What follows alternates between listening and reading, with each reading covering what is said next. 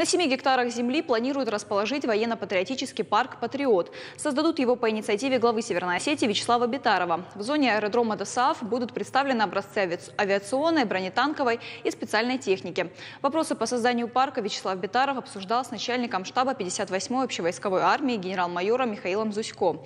Парк «Патриот» станет филиалом военно-патриотического парка культуры и отдыха Вооруженных сил России. Он призван стать уникальным многофункциональным комплексом, который позволит на высоком уровне проводить самые разные мероприятия, в том числе пятидневные сборы для школьников и сдачу нормативов ГТО.